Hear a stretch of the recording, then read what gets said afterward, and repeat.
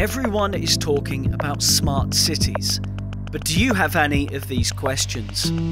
What is actually becoming smart in the Middle East power market? How do I justify the cost of smart technologies? Will I need new qualifications or training? What are the risks? And what does the future hold?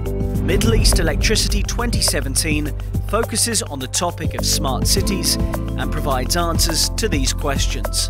Research and development leaders, including Siemens, Huawei, Philips, and Caterpillar, will explain how their innovations are worth considering for your next project. Consultants like KEO, Mott MacDonald, and Arup will provide updates on regulations and codes.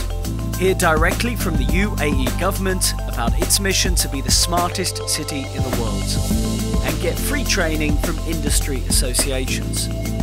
Register to visit Middle East Electricity for information, innovation, and collaboration. Middle East Electricity, energizing the industry.